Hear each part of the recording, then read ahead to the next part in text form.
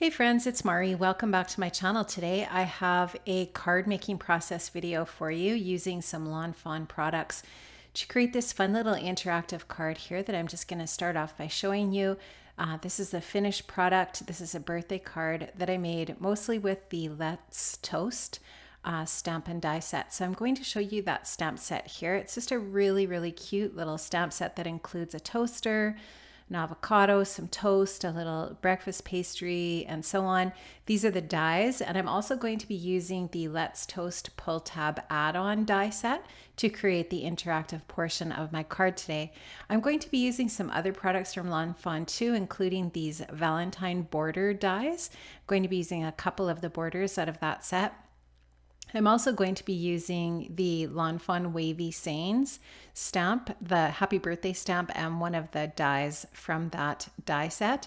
And I'm going to be using some of the Lawn Fawn Perfectly Plaid papers. This is from the Perfectly Plaid Fall. And I'm also going to be using the Perfectly Plaid Rainbow. I'm just going to be using a sheet of paper from each of those pads. I'm also going to be using a little bit of the Lawn Fawn Sparkle cardstock in Pixie Dust. This is so pretty. I love it. And and this and again this is my final card this is the little product that i'm going to be creating here for you today i'm going to be using a few of the nuvo drops to create the little um, sprinkles on my little breakfast pastry and these are red berry um, and pumpkin and caribbean ocean Okay, so I am all ready to go. Those are all my products and here is the process. So I'm going to start off here with my MISTI. I'm going to little put a little piece of that uh, plaid paper into my MISTI and I'm going to stamp out my toaster. And I'm going to stamp that out using some VersaFine Onyx Black ink. It's just going to create a really nice crisp impression and I'm going to stamp the toaster out and then I'm also going to use one of the face stamps from the Let's Toast stamp set to create a little face on my toaster front too. I think those little faces are so cute and I think it's just a really neat way to add a little bit of detail to some of the little images that you might be using in your card. So I'm going to use the largest face, um, the little eyes and, and mouth that will go onto my toaster here. I'm going to stamp that out again with some VersaFine Onyx Black ink and just going to clean that off when I'm done and get ready to, I think, maybe stamp out my pastry next. So we're just gonna get that all cleaned up and ready for the next thing that I am going to stamp. So um, this is just such a really cute way to create a little bit of texture and interest on your toaster because that pattern paper then just creates the, the um, texture on that little toaster. So I'm going to also stamp out the little cheeks for my toaster as well. And I'm going to take the, the little cheek image from that stamp set. I'm going to use a little bit of bright pink ink on there. I'm going to stamp that a couple of times just to make sure that's nice and bold on the cheeks of my little toaster. And my toaster then will be all finished and ready to die cut. There is a die obviously then for this, this stamp set um, or for this image and it just really cuts out a really nice image of this little toaster. So next I'm going to stamp out the little pastry that's going to go in my toast. I'm using some Copic friendly paper here. This is Neenah 80 pound cardstock. And I'm also using some Copic friendly ink here. This is um, Memento Tuxedo Black ink. And I'm going to uh, do some Copic coloring on my little breakfast pastry here. So that is why I wanted to use the Copic friendly ink. I'm gonna get that stamped and then I am going to do a little bit of Copic coloring on both my pastry and on the little toaster there. So I'll get that all cleaned up and ready for some coloring. I am going to give that ink a couple of seconds here to dry just so that it doesn't smudge when I get coloring here and you can see I am going to show you the lids of the markers that I use here in my process. So I'm going to use this uh, teal color here to color in the base of the toaster and then I'll also use a darker teal to color in the legs of the toaster and the buttons that are on the side of the toaster just so that it gives it a little more dimension. It looks a little bit more realistic so that it's just not the patterned paper there. That's also the um, the knobs and the, the bottom of the toaster there. So I just think it looks a little bit more interesting that way. And I'm just gonna go in and create a little bit of a shadow here on the bottom. And that's all the coloring I'm going to do on that toaster. I'm going to color the pastry now just with a, a yellow and a brown. I'm not going to do any shading or anything like that. This isn't going to be any fancy coloring, just really, really basic. I'm just going to quickly color in the center of that pastry with a lighter color because I do want to create the sprinkles on top of that pastry, on top of the icing of the pastry. So now I'm just going in with a darker brown just to um, give that little edge of my pastry some kind of extra dimension and interest there with that coordinating color with the center just to make it look like it's been toasted.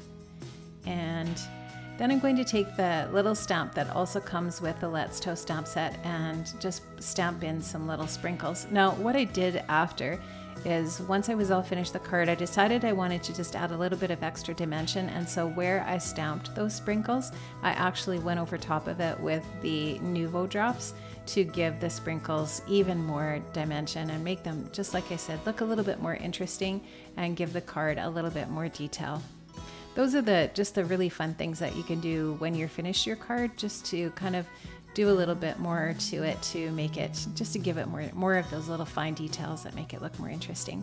Now I've cut out the toaster and I've cut out the uh, pastry.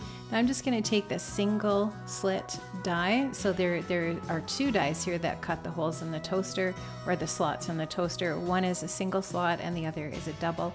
I'm just going to use the single here because I'm only going to be using that one pastry. Get those all put away again and that finishes up that. So you can see how that just slides nicely up and down out of my toaster.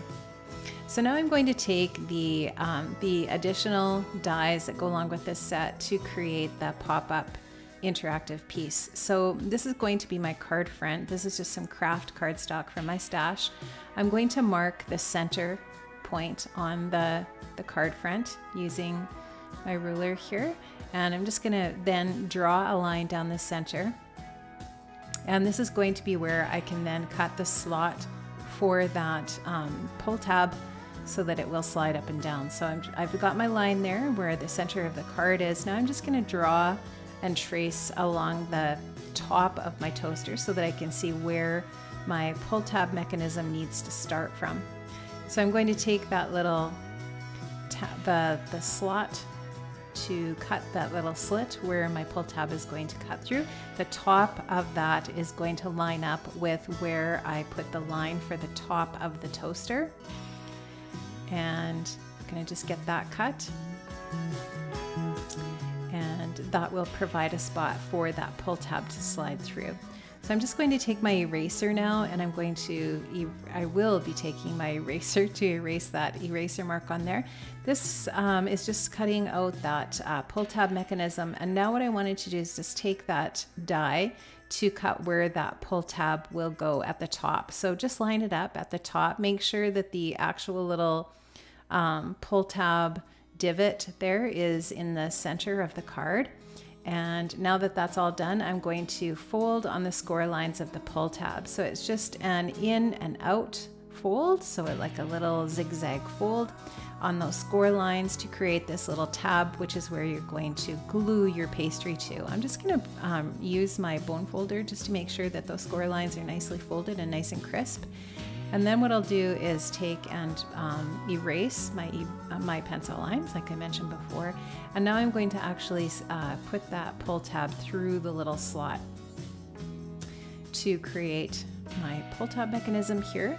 Now, one thing that I wanted to tell you, a little tip here is make sure when you're putting the adhesive on that little tab where you're going to glue the pastry to, make sure that you get adhesive on the whole entire surface because you don't want any part of that not to be stuck to your pastry because it will catch on the slot in your toaster when it's pulling through. And so it's really important to make sure that that's stuck really well. I burnish it here with my bone folder just to make sure that it's really adhered well. And then I just made sure that there wasn't any adhesive stuck to the behind the, the, little pastry there that might interfere with it sliding well. And then I'm just going to practice here a little bit and make sure that it's sliding nicely. Now there's also a little sleeve and this is one of the one of the dies uh, cuts this little sleeve. There's actually a little mistake that I make here. I actually glued it to the wrong side. That glue, the adhesive, should be against the card front, not against the pull tab because it will then keep the sleeve in place. And I don't know how I managed to do this, but I did. And just so you can see, it actually will it does still slide back and forth side to side a little bit because I didn't stick it down to the actual card front. So just something for you to think about. I just want, I kept that in. I didn't uh, delete it and redo it because I wanted to show you this is what you don't do and this is why. Sometimes you can learn from another crafter's mistakes, right? This is the little pull tab top that goes on the top of the pull tab just to show that there's an interactive piece here to indicate to the recipient of the card that they need to pull that piece up. You can see that I cut the excess piece of that pull tab off so that it's nice and even at the top when it's down. And then that little pull tab piece fits on there.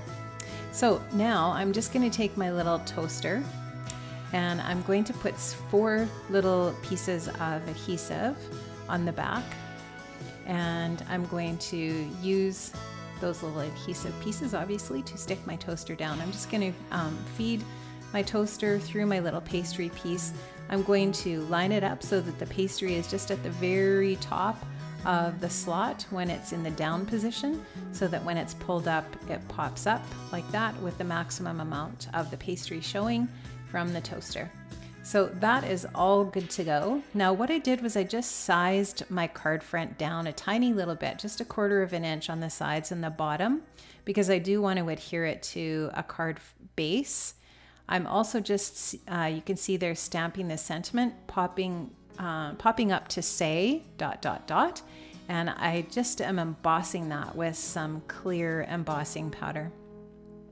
I'm going to take a piece of the Perfectly Plaid Fall paper in orange and I'm going to adhere my card front to the back of that just to give a little bit of color variation and this goes nicely with the colors in the pastry.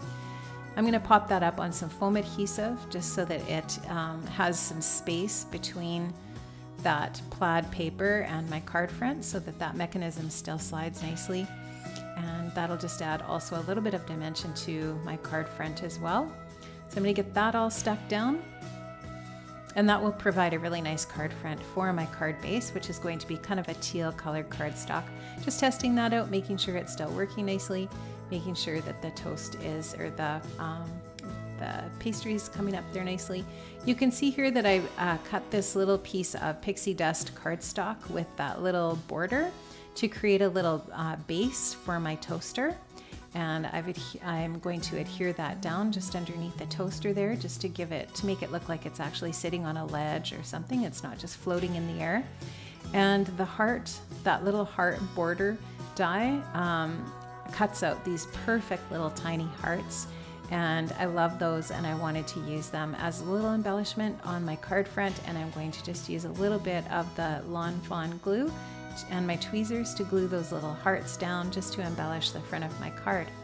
Now I am going to finish the inside of my card off um, as well here very quickly with my happy birthday sentiment. I'm just going to get this little border piece stuck down again with my Lawn Fawn glue. And a piece or a pair of tweezers are super handy for card makers. Everybody that makes cards knows that. I use my little tweezers too a lot when I'm scrapbooking. I just love these things. Um, they're amazing. And I think they're We Are Memory Keepers tweezers.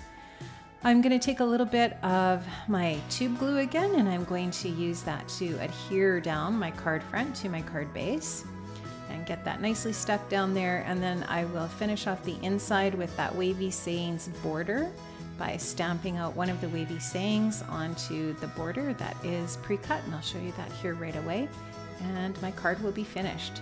So I'm just going to show you here, I'm going to stamp out this wavy saying onto a piece of white cardstock that I've already cut with the border with the wavy banner die. And my wavy banner sentiment is happy birthday and that finishes off my little happy birthday card. I hope you liked this today. I hope you enjoyed this video and this was a really super fun card to make. It was really easy and I love these Lawn Fawn products so much. Thanks so much for stopping by guys. I'll see you another time. Bye bye.